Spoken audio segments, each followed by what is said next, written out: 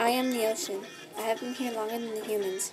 I have provided water for the dinosaurs, and not the selfish humans. I'm the one who gives you water to control your thirst, but you take more than you need. You poison me with your plastic, garbage, and filth. You poison me so much that children can't even swim with me. I have covered 30% of the earth. All the fish you eat is from me. I have created it all from the surface to the bottom of the ocean. You know why peaceful means Pacific? Because it was peaceful until you throw your garbage and poison at fish, obviously. The 25,000 islands that I cover are mine, not yours. You'll die eventually. I need to stay alive for generations to come. If you keep poisoning me like you're doing today, I won't live till tomorrow. The 3,800 meters of depth I cover is mine. Some humans say they are the founder, but really are they? I can go away for a day. And you won't even know until I was gone, and you'll have nothing left. And you'll beg for me to come back.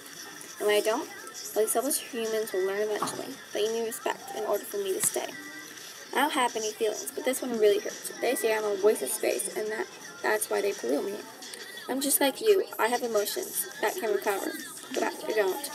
You you need to die eventually, and I need to stay alive for generations to come. This is mine. The ocean is mine. Everything I've created, from clean water to your dirty water, is mine. I am the ocean. I am your clean water. So why do you pollute me? We have no right to do that. I'm just like a person. I can do it too. You know what? I got a better idea. How about I don't come back? Then what you will do? I in the Pacific Ocean.